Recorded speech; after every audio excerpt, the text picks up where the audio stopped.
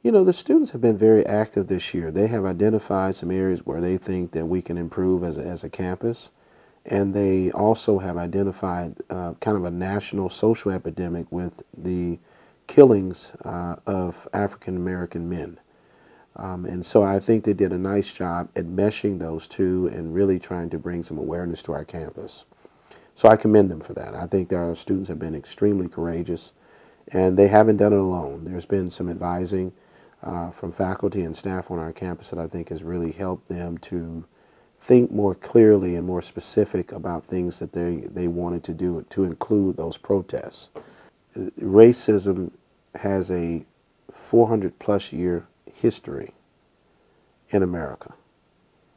Um, it is not an anomaly. Um, it is a reality. Um, it, did, it did not take away from, again, that sense of disparity that I felt when I read some of those comments. And I, I hurt for our students who have come here for a, a college experience, come here and have paid their money to uh, be educated by fantastic faculty and staff.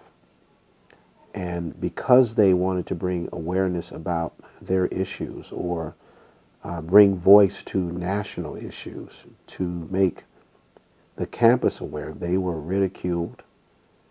Racist comments were thrown around. The N word was thrown around. Um, and that was disheartening because this campus does a nice job at talking about the Appalachian family. And that did not feel like a family.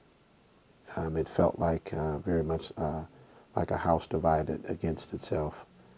And I think that our, particularly our minority students, felt that divide and they, they wanted to address some of those things.